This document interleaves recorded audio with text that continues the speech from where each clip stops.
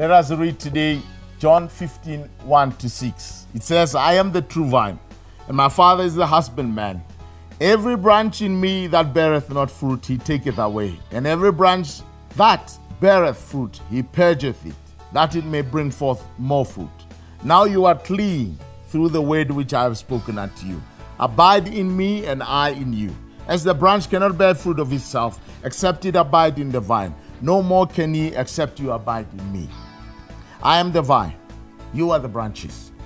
He that abideth in me, and I in him, the same bringeth forth much fruit. For without me, you can do nothing. If a man abide not in me, he is cast forth as a branch and is withered. And men gather them and cast them into the fire, and they are burned. A very important lesson for us today. Look,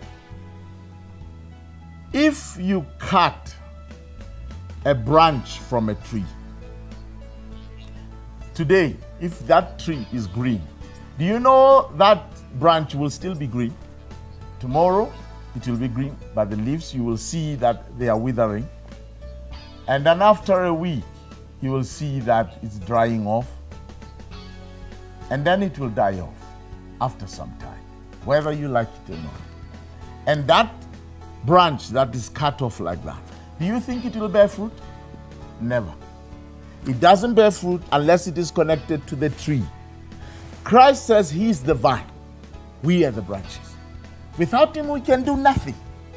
And if we are cut off from Him, yes, we will look like we agree. You know, have you seen people that remove themselves from Christ, that take different paths? They will still look green. And people will say, Oh, but he's still preaching very nice. He's still saying kind things. Even yes, the branch removed from the tree is still green. But wait, time will tell.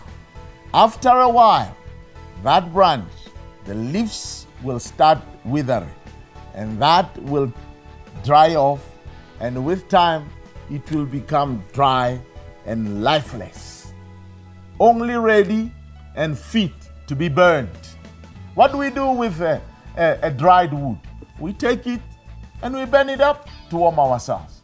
That will be the end of anyone who removes himself from Christ. Rather than removing ourselves from Christ, let us stay attached. Let us stay with Him because Jesus says, Without me, you can do nothing. Let us abide in Him. He says here, I am the vine, you are the branches. He that abideth in me, and I in him, the same bringeth forth much fruit. For without me, you can do nothing. God bless you. God help you to stay with Christ and not to remove yourself from Him. God bless you. Amen.